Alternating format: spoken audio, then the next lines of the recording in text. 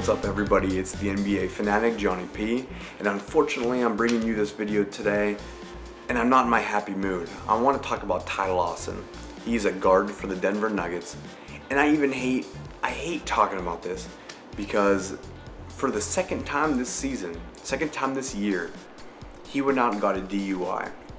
The second time in 2015 that this man has gone out, been under the influence, got behind the wheel of a car and gotten in trouble. It happened in LA at 1.30 in the morning and I get so angry because you hear about all these players getting in trouble. But let me, let me, first off, let me start over by saying before I made this video, I went on MADD.org, M-A-D-D.org. I believe it stands for Mothers Against Drunk Driving. And there's some statistics I want to read off to you, things that just touch my heart. Every day in America, another 28 people die as a result of drunk driving. Now, we're not talking about the drunk drivers themselves. We're talking about innocent people, men, women, and children who get injured and die. 28 people on average a day. Just in 2013 alone, there were 10,076 deaths because of drunk driving. Over 10,000 people. You're talking mothers, fathers, sisters, brothers, uncles, aunts, cousins, friends. We are talking people whose lives matter are dying on account of somebody else's or their own bad choices. The rate of drunk driving is the highest between the ages of 21 and 25. Now we're talking about Ty Lawson here. He is a 27 year old man, a six year veteran of the league, and what blows my mind is that when these players get to the league, they have to go through basically classroom work, letting them know this is how you should conduct yourself, this is how you should act, this is how you should spend and protect your money, blah, blah, blah, blah. But one of the things they go over, I'm sure, is stuff like this. And if not, it's time for the NBA to step forward and say, there's a problem. Because we can't have our players going out and getting in trouble. This game spans the entire world the entire world, right?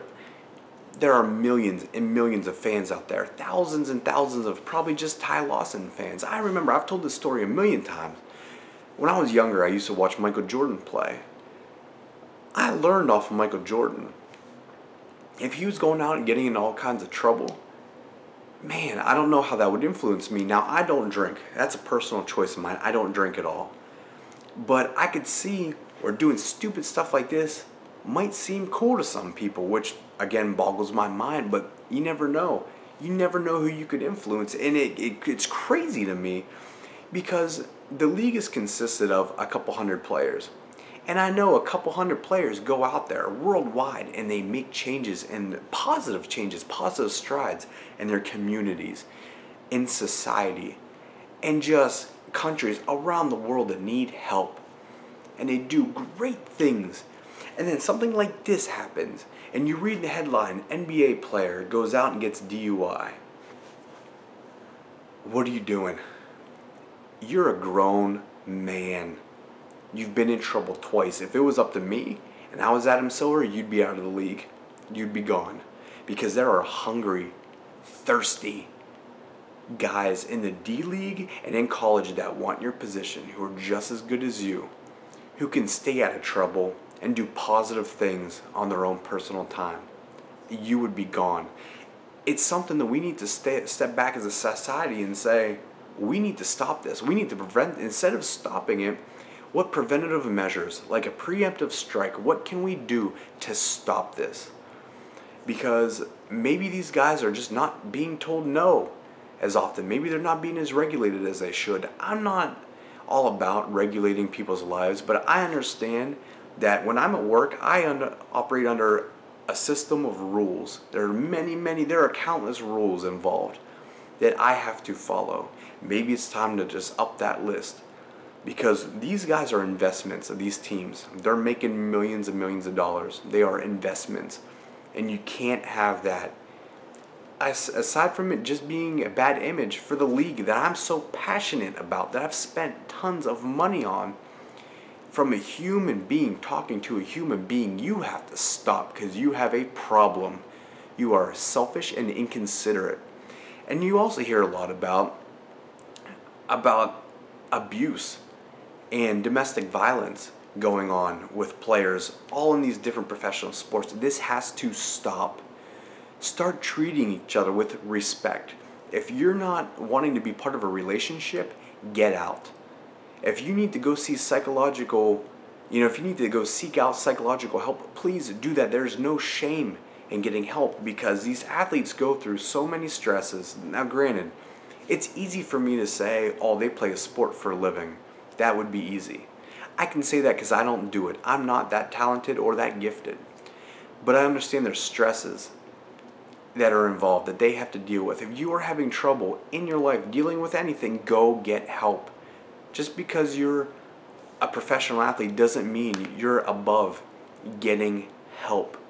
When you read about things like the Ray Rice incident and now Ty Lawson, you see all this trouble, and again, it overshadows the good and the positive things.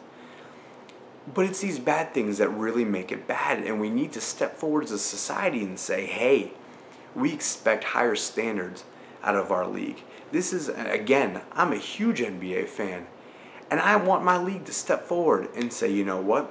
These are the steps we're going to take moving forward to ensure that we are in the best possible position. Now, granted, there's going to be people that slip through the cracks, and maybe Ty Lawson was one of those. But what's Denver doing right now? They're going to put him up for trade. They're going to get rid of him. Big deal. Where's he going to go? He could go to 29 other teams, but the end result is going to be he could still do this again. Trading this man will not solve his problems. There are issues there. They're having trouble dealing with stuff. We need to make sure we have these long term plans set up so these players who get handed all these millions of dollars, all this stuff, all these cars, all this opportunity, we need to make sure that they're making the right decisions for themselves, for their families, and plain and simple, other strangers on the road. Because if Ty Lawson would have killed somebody, I don't even want to talk about it because it's horrible. It's horrible to think about him going out and hurting somebody. Ty Lawson, I, I know you're not going to see this, but if by sheer chance you do, please get some help.